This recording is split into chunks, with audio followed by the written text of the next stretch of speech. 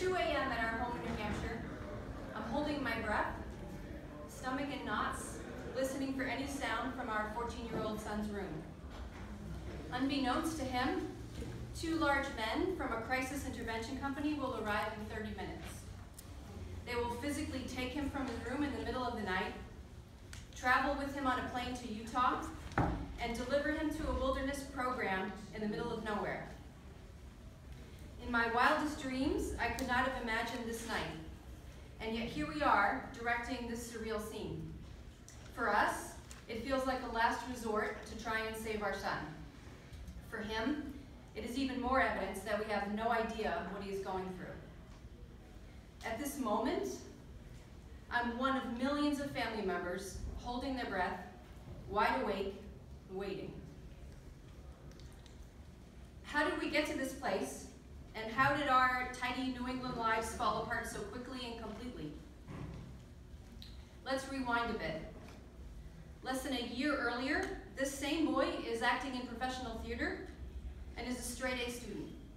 Yes, he's always been sensitive and could be described as a difficult child. Yet his intelligence, enthusiasm, vibrancy, and charisma are infectious. His friends are all the most popular girls in school. He is gay and not out to anyone, including us.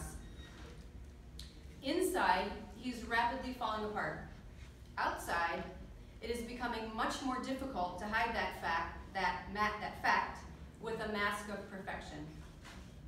He tries harder and harder to white knuckle through the school day. We're seeing the anxiety, and he's denying it at every turn. He somehow manages to make it through the end of eighth grade, although he is becoming increasingly housebound. We convince our son to see, to see a therapist. After one or two visits, he staunchly refuses to go back. Meanwhile, we need help badly. Nothing intuitive works at all. I read a lot of books and receive a lot of well-meaning advice. He asks if I can homeschool him for high school so that he doesn't have to leave the house. I say that's not a realistic option. His anger and refusals increase as we push harder for therapy. As August arrives, it seems we're all hoping and pretending that it will just work out when school starts. It most definitely does not.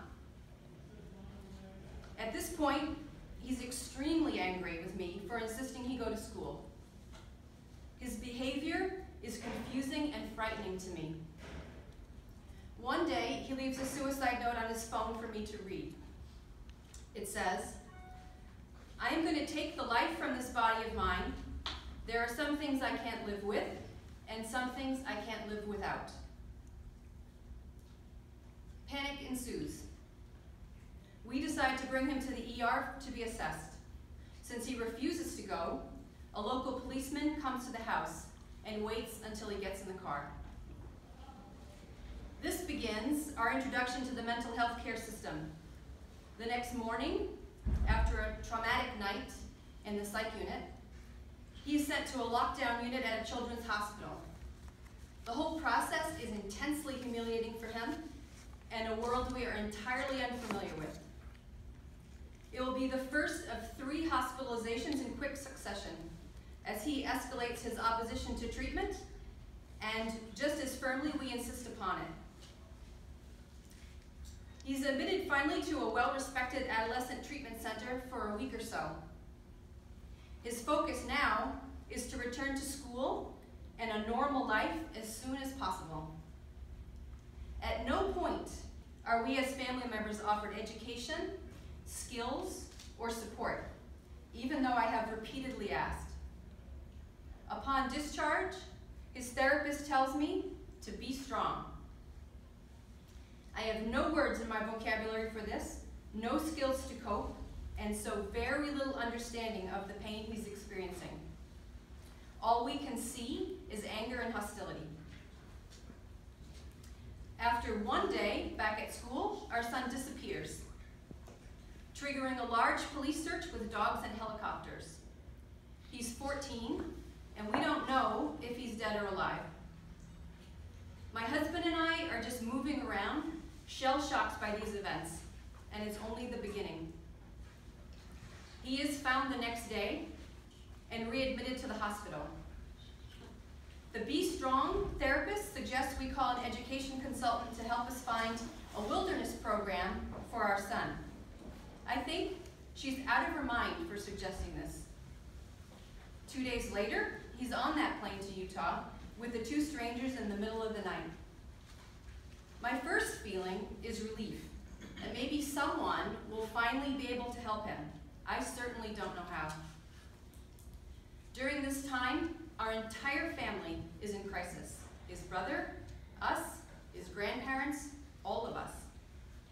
I am so that my decisions aren't based on any well thought out plan. They're driven by desperation, fear, and helplessness. He stops talking to us because it's clear we don't understand. There's a chasm between us, and there's no way across. Our son ends up spending a year in Utah, first in wilderness, then at a residential treatment center and school. We visit regularly and attend family therapy by Skype. He is sexually molested by a staff member, something we find out much, much later. He cuts himself severely there and is diagnosed with borderline personality disorder for the first time. He expresses he has questions about his gender identity. Unfortunately, his treatment, though extremely expensive, isn't evidence-based, and neither is ours. We simply don't know this yet. At this time, he is 16 and getting ready to leave Utah to attend a small progressive boarding school in Massachusetts. Since he's had long and expensive treatment, we are all of the belief that he will now be successful. This is not the case. One night, as I flounder around the internet looking for answers, I stumble on NEA BPD and Family Connections. Not only is it a free program, it is education, skills, and support designed for family members. This is something we've been searching for for years. I'm placed on a wait list for the class. You will hear more about the content of Family Connections from others today, but I can tell you about its impact. This class was such a different experience from anything I'd seen. I learned to look at my son's behavior with compassion and understanding instead of confusion and fear. I learned actual words to begin to speak with him. I slowly learned to talk about suicide and self-harm without the old feelings of panic and avoidance. Finally, I had a path, hard and long, but a path to forge a new relationship and bring our family back from the hell we were experiencing. Meeting other families eased the awful sense of aloneness we felt for so many years. If only, if only I could have found, found out about this sooner.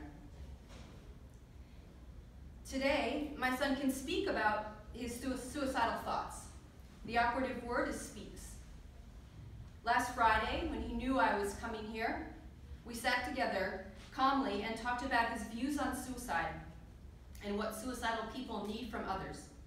In his view, warmth and solidarity, not advice. He told me the advice he received all his life is what made him want to kill himself. Advice to just fit in, to conform, and simply take the path most kids his age take. Ironically, after a very long discussion about suicide, we both left the table that day feeling lighter, mentally and physically. He knows that although safety is always first, I'm genuinely striving to understand his inner experience as best I can. Birthdays are often difficult particularly his 21st birthday. I asked my son what he wanted. He said, nothing, I need nothing. Then he said, actually, a plane ticket to Denmark where they have assisted euthanasia.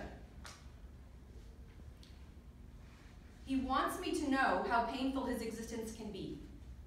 Sharing that with someone who not only cares, but has some skills to regulate their own emotion can be life-saving. Yes, it is still very painful to hear, and I'm grateful to have the chance to hear it. Today I teach Family Connections, which you will hear more about in the US as well as internationally.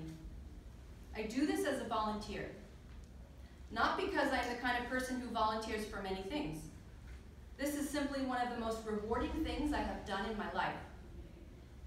Words truly can't convey to you what it is like to watch parents and others walk into a room with stooped shoulders and downcast, often red-rimmed eyes. By the end of the first day, they're standing a bit straighter and talking intently to others at their table. By the second day, they're practicing new skills and have the thought that maybe, just maybe, a decent life can go on. With pain, yes, and not with misery.